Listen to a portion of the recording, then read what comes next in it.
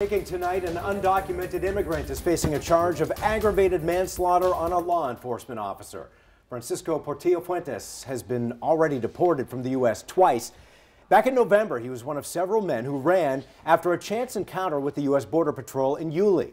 One Nassau deputy, Eric Oliver, who chased after Fuentes, was killed when he ran onto State Road 200 and was hit by a car.